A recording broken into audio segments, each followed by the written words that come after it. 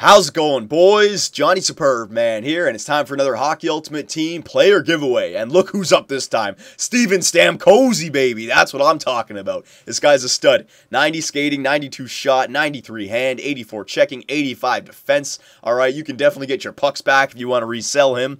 Um, I'll just let you guys know he's got no contract cards in him, so you're going to have to give him at least a fiver. But he is on his uh, original Tampa Bay Lightning. He's got the original colors in him.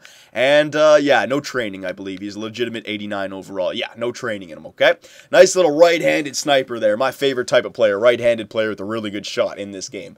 So, I want to make this a little bit harder just because it is Stamkos, and I also want to make it harder just going forward in general because, I mean, you guys are great. You guys get this so freaking quickly. So, uh, what I've done for this one, I've taken out whether or not the player is left or right-handed. Now, if it's too hard, I'll put it back in there going forward, but I'm still imagining there's going to be somebody out there who gets it right, okay? I mean, there's just so many of you guys, and uh, I don't know. So far, I haven't been able to stump you guys, so uh, let's see if I can do it this time. So there's only three, uh, only three clues. Clue number one: This player was born in 1993, which makes him 19 years old. That's right, we got a kid this time. Plenty of young guns in this game, so that should definitely widen the field. Born in 1993, and he makes him 19 years old. Okay.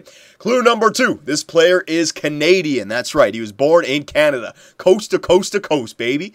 And clue number three um, the player wouldn't be saying this necessarily. It's kind of a description of the player, I guess.